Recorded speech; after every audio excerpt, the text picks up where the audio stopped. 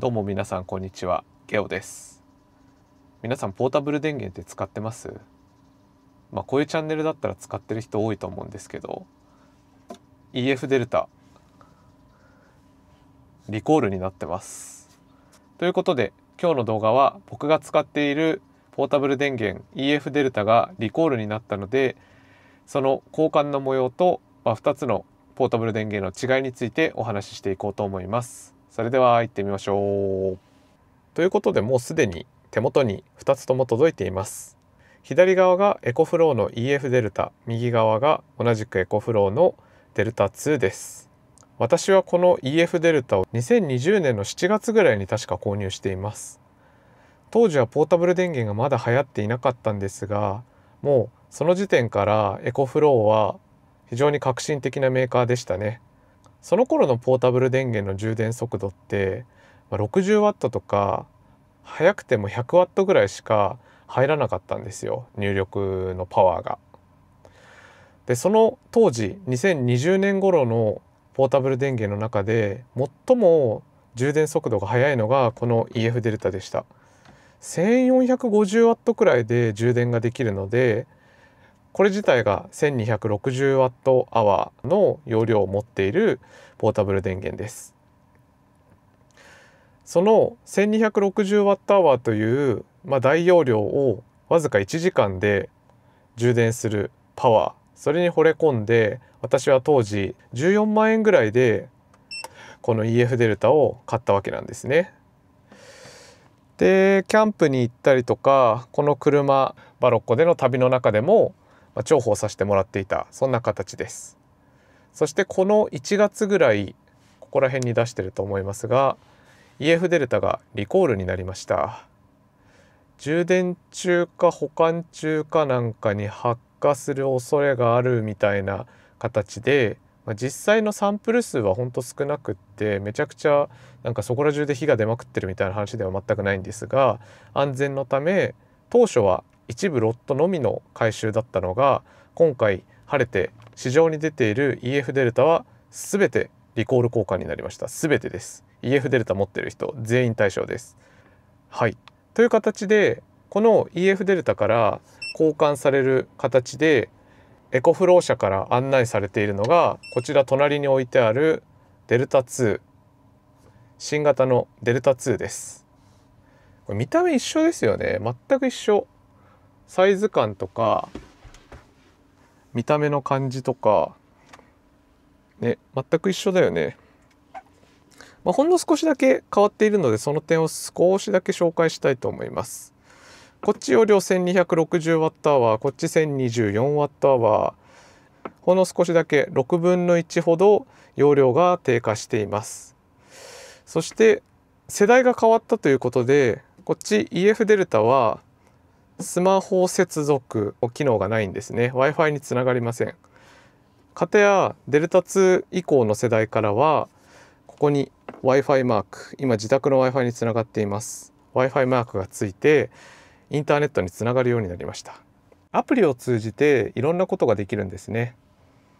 ま例えばこれ手元直撮りで申し訳ないんですけれどもこれ現在の容量だったり、えー、ソーラーの入力量そして左上がコンセントからの入力量。左下は AC の出力右下は DC つまり USB だったりシガーソケットのパワーが表示されています。こういった形でフローメーターが見れたり AC をオンにする 12V の DC や USB をオンにするといった動作をスマートフォンを経由して行うことができます。あとは細かいところの設定もできます。これ設定画面です。今私はこの AC の入力スピードを 900W に制限させています。このデルタ2については最大で 1200W 1200W の充電速度で充電することができるのですがその場合は50分で満充電になるわけですね。でただバロッコに積んでいるインバータこれに関しては容量がこれだね。容量が 1000W しかないんですね。1200W で充電してしまうとブレーカーが落ちてしまいます。ということで私これを 900W に制限しています。これだと1時間7分で満充電になる。といった形でキャンピングカーに置いてあるインバーターの出力に応じて、えー、充電速度をこうリニアに変えることができるというとてもいい機能がついています。というふうな形でスマートフォンと連携させることでポータブル電源に出入りしている電力の流れを可視化したり充電の速度を変えるといったことができます。まあ、キャンピングカーのようなパワーが限られる環境で使っていくにはとてもいい機能ですよね。裏側の AC の出力パネルはほとんど変わっていません。この部分が6口の AC100V DC ソケット。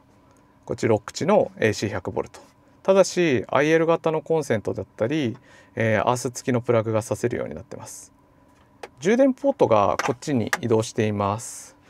EF デルタの場合は充電ポートが本体正面から見て右側についていた感じなんですがこれが裏側に集約されています。アクセス性が若干良くなったとも言えますね。本体正面から見て右側面。EF デルタの方はさっきお見せした充電ポートなんですけれどもデルタ2についてはエクストラバッテリーの拡張ポートが新たに追加されています。これはデルタ2は 1024Wh EF デルタは 1260Wh かな。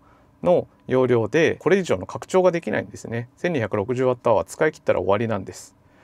ところがデルタ2に関しては 1024Wh にプラスして 1000Wh のエクストラバッテリーまたは 2000Wh のデルタ2マデルタ2マックス用のやつかな？あれも使えるはずです。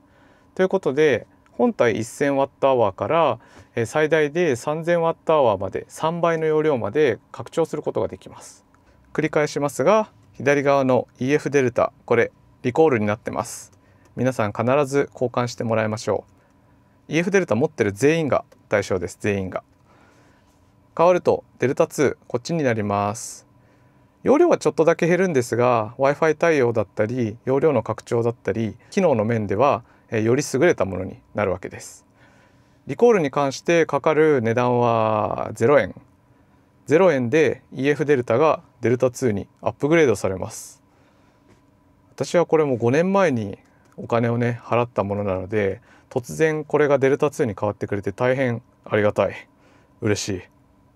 リコール交換の方法についてはここに出ている QR コードからエコフロー EF デルタリコール交換ページにアクセスすることができます。